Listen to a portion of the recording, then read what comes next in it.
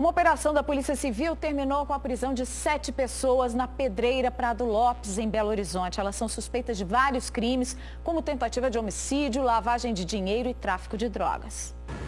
As imagens feitas do helicóptero da Polícia Civil mostram a movimentação de viaturas e dos policiais que participaram da ação.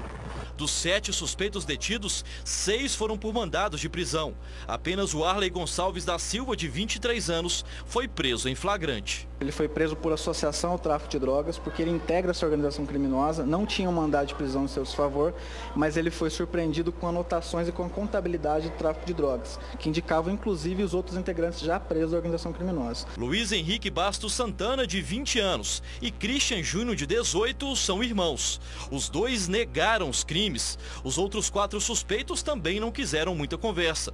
Entre eles, o Alisson Vitor Gonçalves Fagundes, de 21 anos, que já tem passagem por porte ilegal de armas e é monitorado por uma tornozeleira eletrônica. Não interessa isso nada a ninguém não, senhor. Não conheço ninguém que está aqui.